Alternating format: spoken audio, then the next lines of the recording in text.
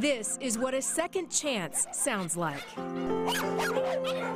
This is Miss Tasha. Many of these dogs were dumped on country roads near Wayne, Oklahoma, abandoned, starving, abused. Others were rescued from euthanasia or handed over by their owners. All were saved by, of all people, a mail carrier named Tammey Little, who doesn't run from dogs, but toward them.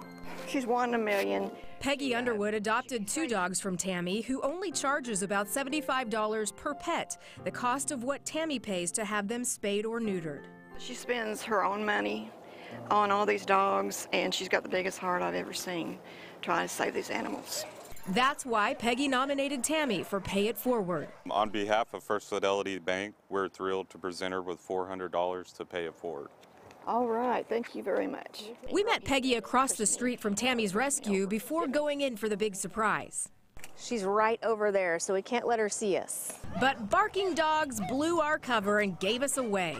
And our news vehicle is not exactly incognito. We're with Channel 4. Oh my goodness. And we're here because you've been nominated by Peggy for a Pay It Forward award for all you do for these dogs. Oh my gosh. Thank you. Thank you, darling. Oh, you deserve every bit of it. You're so sweet. Thank you. Channel 4 and uh, First Fidelity Bank wants to give you this money and for your operation. Thank you so much. Thank you so much. Yeah, I saw your car out there. I thought, what? Tammey says she's adopted out about 300 dogs since she said goodbye to her horses and transformed her barn into a dog rescue called Going to the Dogs. but yeah, I've gone to the dogs. it's in my blood now, and I love it. I love dogs, and I just feel like it's my calling. Meet Ben. He was the first. This all started with him. He was a little puppy that was uh, came out of the weeds. Someone had thrown him away. He was probably four months old. Ben is her pet. So are several others, like Majesty, an old man with hardly any teeth left. He came from southeastern Oklahoma. He never had a home.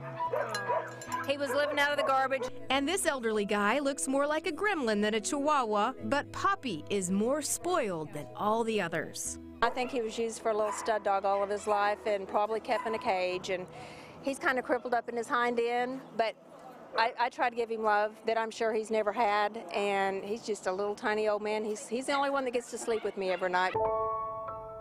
She keeps the ones that are not adoptable. I've got a lot of sweethearts here. The others, like Tasha, She's sweet. she spays, neuters, feeds, and loves. I feel like I'm doing God's work. Because this mail carrier doesn't just deliver the mail, but the gift of a forever home. I appreciate y'all. Heather Holman, Oklahoma's News 4.